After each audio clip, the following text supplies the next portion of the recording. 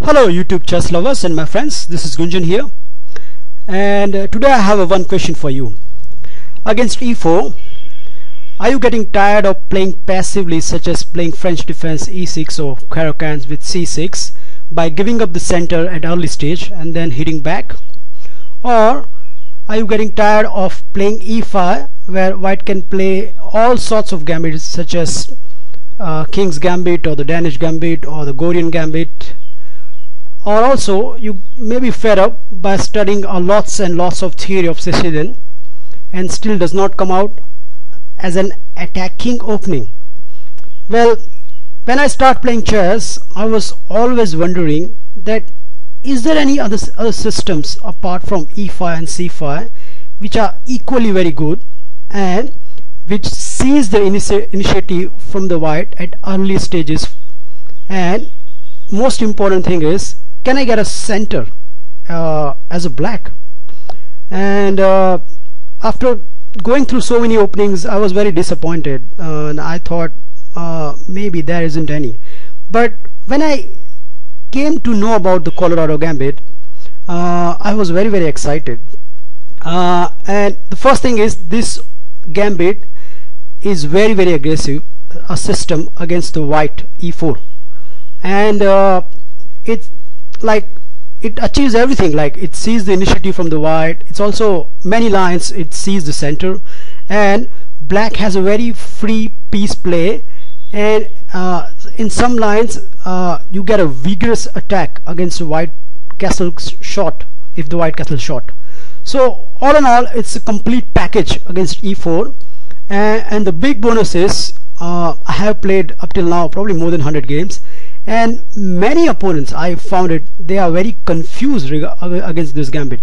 They completely don't know how to react and somehow they fall into some of the nice traps of this gambit or they completely lost positionally. So uh, join with me today for this wonderful gambit and learn about the tricks and traps exist in this line. So let's start the opening. So white plays e4 and here I am recommending a move which is knight c6 which is known as a Nimzowitsch uh, defense. Uh, what it does is basically it avoids any nasty uh, like gambit openings such as f4 which is king's gambit or d4 which is Danish gambit. And uh, it's kind of inviting white to go again go back to knight f3 line where this gambit uh, will not affect anything to the black. So here there are two good moves from the white side. Uh, white can play this move d4 well in this case you should uh, I recommend you should go through the theory section of Nimzowitsch defense where I think I personally think the good move is e5 and you should know what if what happens if white uh, take that pawn or moves further or also uh, goes go back to the main line of scotch. So that you need to prepare if you are preparing uh, about this gambit. Anyways that is a completely different chapter uh, and if I get a time I will cover those as well. Uh, right now uh, let's stick to the main line which is knight f3 so it's kind of white uh, which like you know is hoping that black play e5 and goes back again to the line which probably he has prepared for example a modern Italian game or the Ruy Lopez and uh, everything will be fine for white. But here comes the big surprise. And the surprise is f5 and to be honest with you uh, many times when I play especially in blitz people here stuck for 10 to 15 seconds and they try to find out oh, oh what exactly going on? And uh, what I will do in this video is first we will have a look uh, what is um, what is most likely a general response of the from the white side that if any kind of uh, gambit occurred which the opponent does not know then he tried to stay away from it rather than accepting. And uh, what we will do here is first we will go through the most dangerous way to decline the gambit step by step to the least and then we'll finally have a look what happens if white accepts the gambit. So let's go to the most aggressive response from the white uh, by declining the gambit. And the first move is e5 so pushing by uh, and white is hoping that he has more space than black because f5 uh, of course weakening the king of the black and white can grab some space on the center and now here I recommend you go d6 so now again attacking the, that pawn. And now here there are two lines. First line which is very aggressive by white and he tried to hold on to that pawn and by playing this move bishop b5 and uh, here there's a there is a com there comes the first trap in this line. And please uh, remember this moves because I I guarantee you somebody will gonna fall for that. And probably I have one around 10 to 15 games like this. So line goes like this. So of course black will take that pawn. And white will be jolly delighted because not only the knight can regain that pawn but now two pieces are attacking that poor old knight right? So white will be more than happy. But here comes the shock. So queen d5 attacking knight as well as bishop.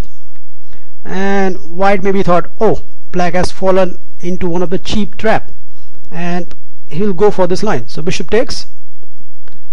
Now of course we need to capture re recapture with the pawn and now comes this check and this is very typical trap uh, occurs at the beginners level but here it's outright mistake by white. Uh, let's see how.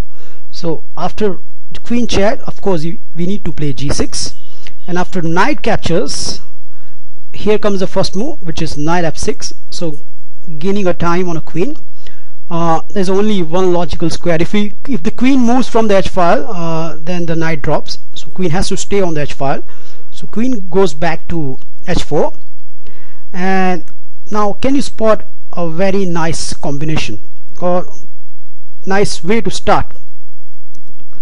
Okay uh, I'm going for it right now. So the correct move is queen cross g2 and now you can see there are two pieces are hanging. The rook is hanging as well as the knight. And uh, if white is foolish enough to take the rook but otherwise it will lost a piece for nothing then queen takes rook king goes to e2 and now instead of grabbing that bishop in the corner which is this one there is a stronger move than that. And please note this move if you are going to play this line. And that move is f4 and now you can see that bishop is almost hanging now so white needs to defend that bishop. And there's only one move which is knight c3 which at least defending that bishop. But now comes the mating attack which is and uh, please remember this line. So now now comes the mating attack which you should remember. Bishop check so now king has only one square which is king d3 now queen f1 check king has again has only one possibility which is king d4 now comes rook check again one square king c4 sorry king c5 and now after e5 king takes 6 king takes c6 and queen a6 only move left for the white king is to take that pawn. Afterwards it leads to mate in one. So queen b6 is a checkmate so this is one of one of the very good trap in this line. So you should remember this trap. And see how the white king was dancing around and uh, we have enjoy uh, to meet him. Okay. So that was a first nice cute trap in this line. If white become greedy and play bishop b5 now you should know what to do if white accept the pawn. So in the second case let's consider white taking on this pawn so e cross d6 and now we should capture by the c pawn and now again there are two lines. So if let's say white is playing very passively for example uh, uh, let's take this line which is bishop e2 uh, e5 and after castle knight f6 now indeed there is a threat of e e4 so white needs to stop that. So after d3 we have this move d4 d5 and now you can see our three pawn are covering the center. And how often you get this kind of structure against white and especially against d4 in fact I, I don't remember much openings which give give you that much advantage. See how much centers we are covering. And not only that our simple planning is bishop is coming to d6 and then we castle. And then we have automatic king side attack starting with f5 probably uh, I don't know. But there are many ways you can do it right? So it's almost you are equal or more than equal at this point. So that is one of the line if white plays very very passively. So let's see a line where white plays aggressively. So white plays knight c3 and after e5 white played uh, okay. Instead of d4 if white is foolish enough to play bishop c4 which looks like a logical move uh, because the f file has been opened so it's very logical to play bishop c4 but after e4, e4 that poor old knight does not have any good squares. So knight has to go back and uh, white is next sorry black is next is playing knight f6 and d, d5 and black black is almost more than equal here or probably higher.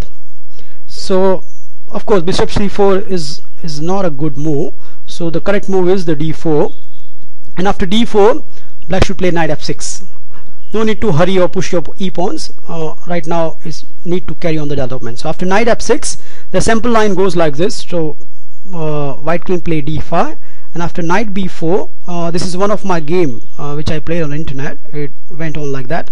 So after knight b4 he give me a check. My opponent give me a check. So I block with the bishop. And after bishop takes queen takes and a3 by knight nicely drop backs to a6 where it can it can comes to either c5 or c7 depending on the scenario. So for example in this game my opponent castle and after bishop e7 he come out with the knight g4 which at first sight looks that uh, e6 square is very very very very on the very much on the card with the knight but I can nicely cover that square again by with my knight knight to c7 and after uh, queen d3 castle uh, I there is a long game happened which initially I won but you can see black has th those two pawns uh, e pawn e5 and f5 which covering the whole center and that is more than equal here at this stage black. And in a moment I can kick that knight away and then my pawns are rolling. So see again black is covering the center and uh, again this opening turns out very well here. Okay moving on. So that was all about the e5 push. Okay if uh, if there are other ways where white does not need to push that pawn white can go for the second line which is starts like this. So knight to c3 and of course white is developing but he has seized the center and this is one of the very good line where black get a good center over out of it. So let's see how the black achieve this. So after f cross e knight cross e we play d4 and most logical square for knight is knight g3 and after e5 again we have the center. And uh, a simple line can be goes like this. So after bishop b5 we play bishop g4 and after h3 we simply lop off that knight and after queen takes we play knight f6 and uh, if your opponent feeling aggressive he might try this move knight h4 knight h5 but after very simple move queen d6 knight takes pawn takes and queen h5 check looks like we are disturbing the castling. But there is no issues because black can simply play queen d7 and in next moves the rook can come out to d8 and king goes back again to c8 and he tends to move as an artificial castle. And look at the center. We have nice three pawn center where white does not have any center and we have almost a very good game from here. So that is uh, against knight c3 now there is another line where white completely gambits the point which starts like this. So bishop to c4 that's the line. But here uh, I think this is the worst scenario uh, worst scenario for the white side because and this is very simple to play as a black because we have a very simple reply f cross e. Now if knight g5 uh, I don't believe this because after d5 uh, black is almost very well placed here. So uh, the main line goes like this. So bishop takes uh, g8 here we will continue like this. So e cross f3 and after bishop d5 f cross g2 and after bishop cross g2 g6 have a look. Our planning is very simple bishop g7 castling on the king side and we can seize the center by playing e either e5 or d5 depending on the situation. And the main drawback for the white is see those pawns h2 and f2 they are very very weak and uh, that can be a big asset for us in even in the endgame. So uh, see the opening it's turned out it's turned out very very well. And uh, if your opponent is refu refuting this gambit uh, we should be very happy because we're getting a very very good initiative as well as the big center. So finally let's see what happens if uh, after this moves uh, white accept the gambit. So e cross f5 well here you should play d5 so our first priority is to regain that pawn by uh, capturing with the bishop. Now if white is uh, white wants to try to hang on to that pawn then he might be feel he might comes under different kind of tactics. So let's say first white is try to hang on to that pawn. So by playing bishop to d3 well here very simple way to diffuse is to play knight at 6 so again attacking that pawn. And if white plays now knight to h4 there comes a very good tactic. So e5 so please note uh, black white cannot take with the en passant because the knight is hanging. So very obvious response is to queen check to f7 and uh, after such a move like knight to c3 we have another amazing move which is g6 and first side or on the first side it looks like a suicidal because there is f pawn and you giving f pawn a whole space but there is a big tactics. Let's say if white is foolish enough to take that f cross g6 then after h cross g6 you can see that poor knight is hanging. So that is not possible. And if queen goes away for example queen goes to g4 of course he needs to remain in contact with the knight because right now knight is hanging. So in this case again there is a very good one good move. Uh, I give you a few seconds. Can you spot amazing move over here. Okay the good move is this move g5 and now look at that poor knight. It has only one square which is f3 and after the knight goes back to h3 we have e4 and the two pieces are hanging. And in one of my game my opponent uh, took this pawn by bishop. He thought that he's gaining a two pawn from the bishop. But to his horror after this move he he probably think the he probably realized the situation is getting worse and the correct move over here is h4 and look at now forget about the bishop. Now queen is look like it's a trap. And uh, let's say if the queen goes over here then we have more time on the queen by playing bishop to d6 and after queen only square which is h3 we take this bishop. And again we are looming the threats like uh, g4 so white does not have any time to capture on that e pawn and it's a disgusting position for the white. So black will have all kind of funds okay so that was first option when white is trying to hang on to that pawn with bishop d3 let's take the second option where it hang on to the pawn another way. So knight to h4 straight away intending queen h5 check. In this case we are playing again knight h6 and after queen h4 queen h5 check we play g6 and uh, this amazingly turns out very well for black. It's a, it's a sacrifice it's a pawn sacrifices. So after f cross g h cross g and here there are again two options. If knight cross g6 then we have this move.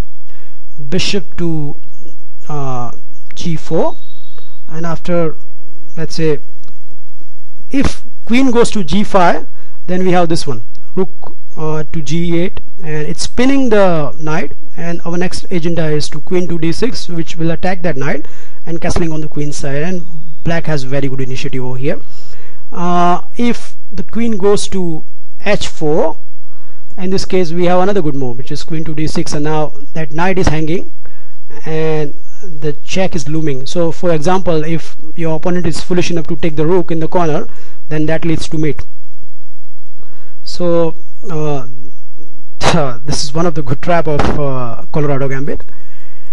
And uh, let's see if your opponent take here with the queen. So queen cross g6 now again knight comes back to knight knight comes to f7 and now you see that knight is hanging. So white has to forcefully play either g6 or if he does not want to play that sorry g3 then he has to retrieve the knight to f3 well here we'll start with the gaining initiative against the queen. So rook goes to h6 queen goes back and now bishop to f5 and one of the game from here one of my own game uh, goes from here like that. So bishop to, after bishop to f5 my opponent played d4 I played again the rook g6 gaining time on queen. So queen uh, goes to the h4 and after queen to d7 now you see there are few threats over here. So if the knight has been allowed to b4 then c2 is hanging. And if the bishop moves to the b4 then this pawn is hanging. So by considering all this my opponent play bishop e3 but then I simply castle on the queen side and after the knight e3 I played e6 and after he played knight to uh, b5 I played bishop to e7 and I think uh, there's only one move and he played uh, queen to f4 which after the bishop uh, sorry rook to g4 he, he simply realized that he has a lost position. Anyways if the queen does not trap like that white ha black has a very simple plan which uh, both the rooks are covering h and g file as I mentioned by the arrows. Like this rook goes over here and this rook is already on the g file. And then if the white castle on the somehow white managed to castle on the king side then we have a furious attack on this h and g pawns. And uh, you, you can see that there is a big initiative for the black over here. And I would if anybody would like to be as a black in this position. Okay. So that is about let's say uh, hanging on to that pawn. Now in most of the scenario especially in the tournaments uh, white will know all this and probably he will go through more positional play. For example playing such move like d4 well here uh, we should of course regain our pawn. So bishop cross f5 and uh, considering all the scenario I will choose the most aggressive one from the white side. So the most aggressive one which starts like this. So bishop goes to the b5 and now it's threatening to cripple our pawn so, we should first of all play e6 and in one of my game my opponent play the most aggressive line which is of course the main line in this uh, Colorado Gambit which is knight to knight to e5 and uh, here uh, I played knight to e7 and which is intending to play a6 and drive away that bishop so my opponent decide to do not give me that that much amount of time. So he first of all give me this check. And after g6 the queen goes back to e2 and nicely defending the knight. So here uh, as an to get an advantage there's only one move for the black. And that is bishop to g7 again hitting that knight. And after moves such as uh, okay. In the game my opponent played bg5 this move happened. But we should see what happens if white tries to be greedy and if he plays moves such as g4 where g4 does not turns out with a big deal because after the bishop goes to e4 and if white think he can trap the bishop by playing f3 here comes the big surprise which is can you spot it?